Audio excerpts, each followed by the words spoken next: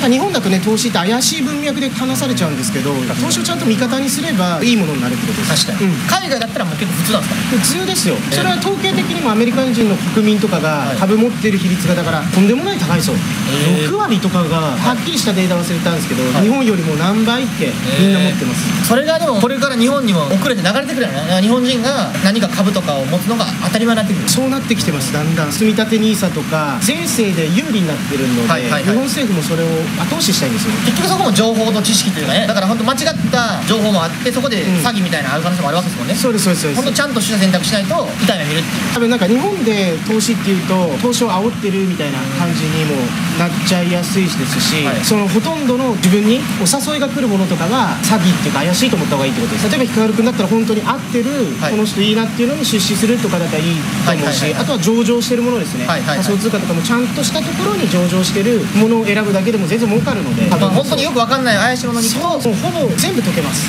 へ自分は100発100中で解けたっす今までの人生で。ーなるほど。友人ベースのやつとかネットで経営業されるやつとか。営業来ないんですよ。本当にいいものっていうのは。こっちが検索したりとかなるほど。たどり着く。あとはまあ信頼してる友達経由だったらいいものもはいはい。中には五分五分ではありますよ。そこは本当なんか注意は必要ですよ投資は。だでも本当に目を養っていくってことですもんね。そうですそうですそうです。でもこれを機に多分も興味を人いるでしょうね。世界と違いますもんね。話聞いてたらやっぱり、うん。勉強にもなるんですよやっぱり。確かに